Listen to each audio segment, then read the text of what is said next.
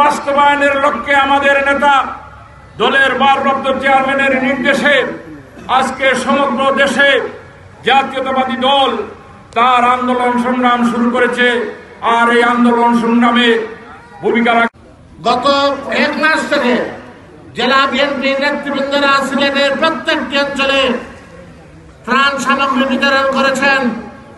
আমি নিজেও এই গোলাপগঞ্জ বিয়ানীবাজারের প্রত্যন্ত অঞ্চলে যেখানে দুর্গত মানুষ, যেখানে অসহায় মানুষ, সেখানে এই গোলাপগঞ্জ বিয়ানীবাজারের নেতৃবৃন্দকে সাথে নিয়ে তাদের পাশে দাঁড়িয়ে এই সরকারকে বাংলাদেশের ক্ষমতা থেকে নামাতে হবে। আমরা সেটাই করতে চাই।